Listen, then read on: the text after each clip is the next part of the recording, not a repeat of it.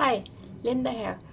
Today uh, I want to show you my fun project made for Crew Member Wednesday. I'm on a three week trip to Japan right now.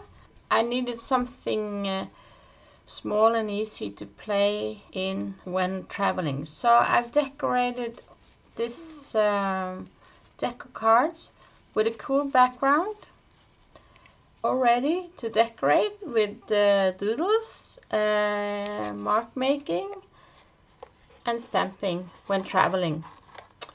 I decorated a few and there's also some extras here um, to show you the process.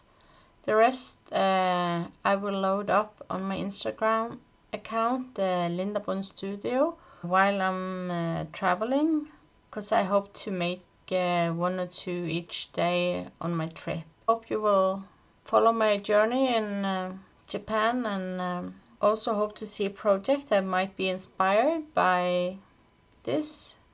Maybe you want to create on a small surface and yeah, that would be fun to see if you're making something.